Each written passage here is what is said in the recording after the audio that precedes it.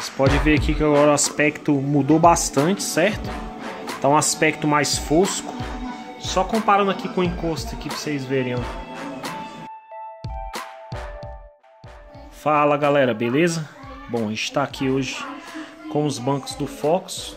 Vou começar aqui pelo banco do motorista, que é o banco que tá mais sujo.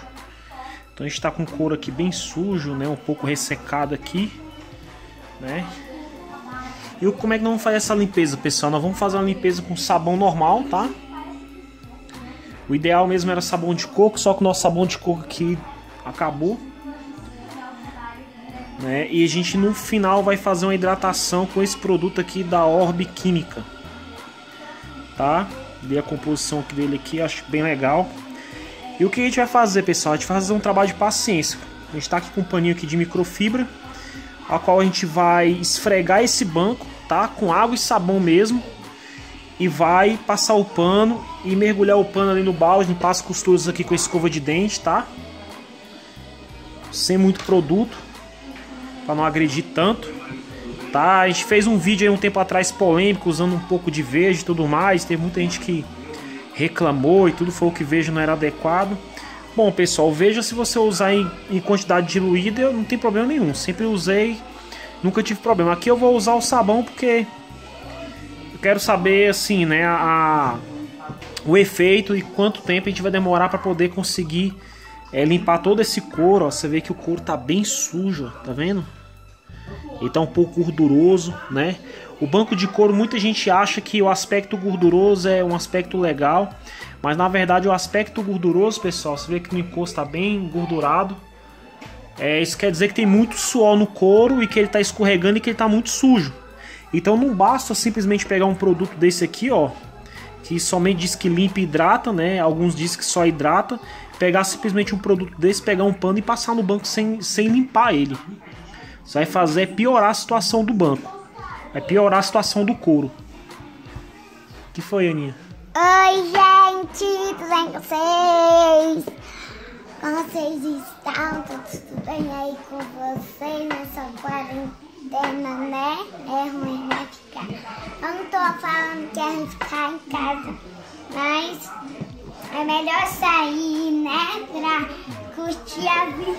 Mas Opa! tem que ficar em casa. Então tá bom, filho. Deixa o papai continuar aqui.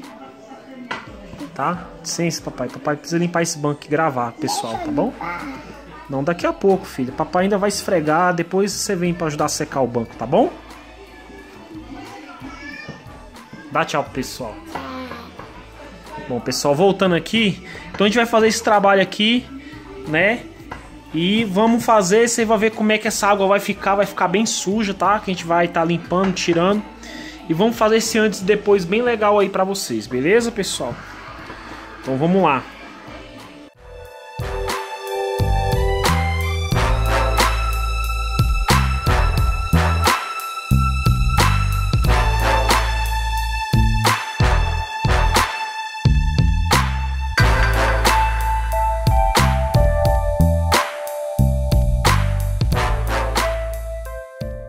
Você pode ver aqui que agora o aspecto mudou bastante, certo? Tá um aspecto mais fosco. Só comparando aqui com o encosto aqui pra vocês verem, ó. Sujo, brilhando. E agora como é que tá aqui, ó. Fosco. Aqui ainda tá um pouquinho sujo aqui ainda, ó, nesse centro aqui, tá, pessoal? Aqui na ponta já tá bem mais limpo. Olha aqui. E olha aqui o aspecto, tá vendo? Sujo. Limpo, tá vendo? Aqui, pessoal, tá um pouquinho ressecado o couro, tá? E vamos ver se o hidratante ali resolve. Certo? Vamos dar mais uma, um talentinho aqui. Olha como é que a água ficou. Você vê que tá realmente bem sujo. O paninho de microfibra ajuda muito. Então a gente vai dar mais um talentinho aqui de mais uma mão aqui, mais uma, mais uma esfregada. E o ideal é fazer, pessoal, esse procedimento aqui até o pano sair limpo e essa água ficar limpa, tá? Aí é sinal que o couro realmente está 100% limpo. Então vamos repetir aqui o procedimento aqui. Cara, olha só como é que ficou esse couro, velho. zerado. Só com água e sabão, tá, pessoal? De preferência o sabão de coco, tá? Eu tô usando sabão de barra neutra aqui, mas o de coco ainda é melhor. Mas ficou zero. Zero sujeira, ó, tá vendo? Posso te ajudar a lavar Pode, daqui a pouco. A gente vai lavar o encosto, você lava aqui, tá? Não senta aí não, que acabei de lavar. Eu quero lavar o encosto. Tá bom, a gente vai lavar junto. Beleza, pessoal? Então, ó a câmera aí, filha.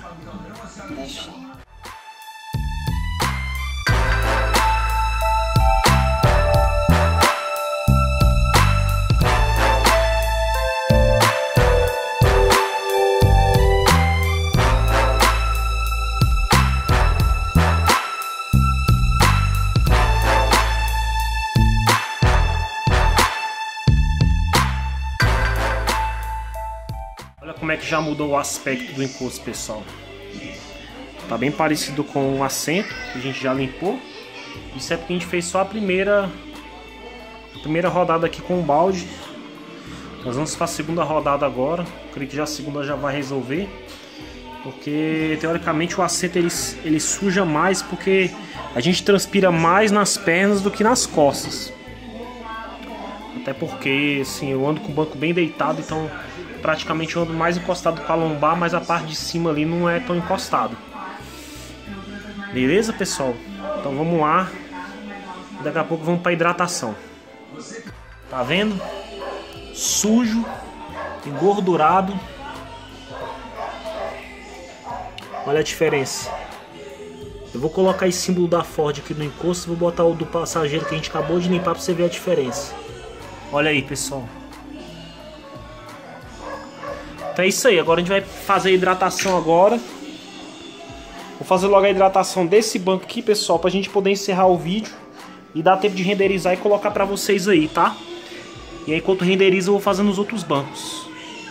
Mas ficou muito bom, cara, ó. Limpinho. De novo. Diferença, nossa. É gritante, pessoal, tá vendo? Então é por isso que não é só pegar um produto de limpeza e passar por cima, entendeu? Porque senão vai lambrecar, vai sujar ainda mais, vai ficar ainda mais escorregadio o banco e vai denegrir ainda mais o couro. Então segue.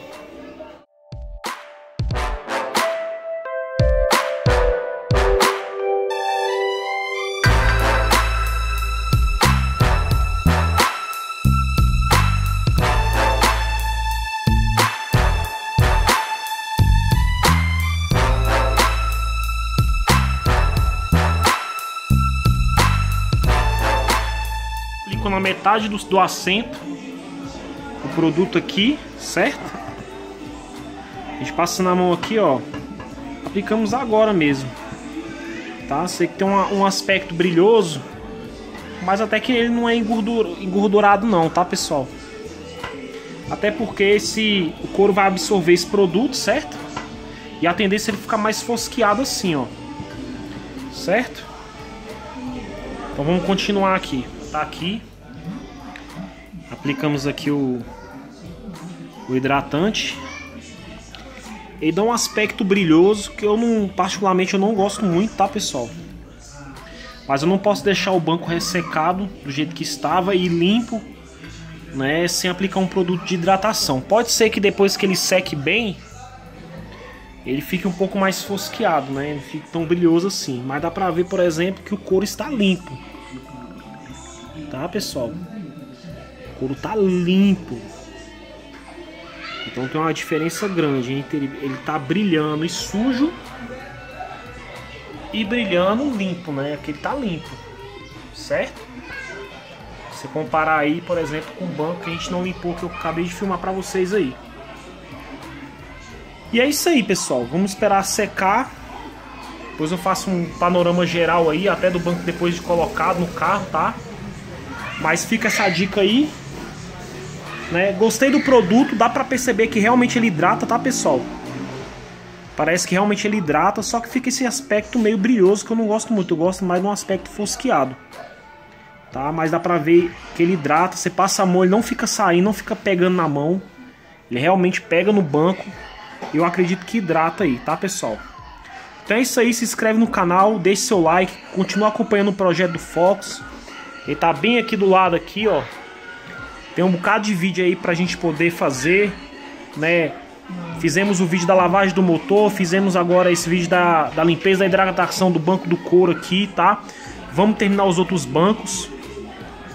E é isso aí, pessoal. Vamos ter muitos outros vídeos, farol de milho que a gente vai estar tá colocando, montando os acabamentos. Nós vamos hidratar também a parte dos plásticos, que vai ser o próximo vídeo, tá, pessoal? A gente achou um produto bem legal aí da da Inovox, se não me engano, que é o nome do produto, que é o Rejuvex. Vou mostrar para vocês. Então não perca, pessoal. Se inscreva no canal e até o próximo vídeo.